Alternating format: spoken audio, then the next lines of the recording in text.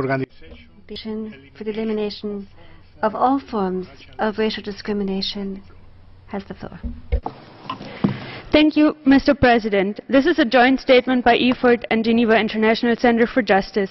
While discrimination against the Rohingya minority in Myanmar has persisted in law and in practice throughout the decades, the abuse of the Rohingya community in Myanmar has reached an unprecedented gravity in recent months. The counts of serious, widespread and systematic human rights violations accompanied by hate rhetoric committed in an organized manner by the Myanmar government, police, security forces and ordinary people against Rohingya based on their ethnic and religious religious belonging leaves no doubt that committed atrocity crimes amount to genocide with intent to destroy in whole or in part the Rohingya community.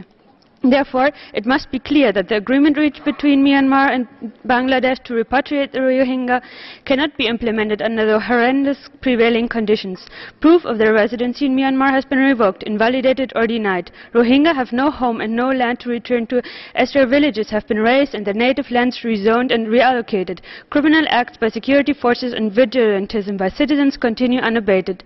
In light of the atrocities and horrors that the Rohingya people have lived and endured, all they would be returned returning to our haunting nightmares and a cruel reality beyond imagination. Before any serious consideration of repatriation, UN mechanism must ensure that the Rohingya are provided with full citizenship rights. Their safety and security must be ensured. To this end, a UN peacekeeping force should be dispatched and safe zones should be created to oversee any future repatriation.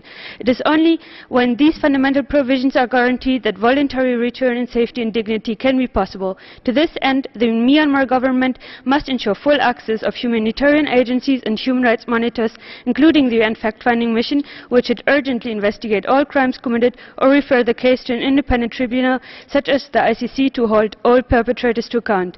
As the Myanmar government has hitherto failed to adequately address the committed atrocities, member states must assume their responsibility under international law to counteract and prevent these acts of genocide.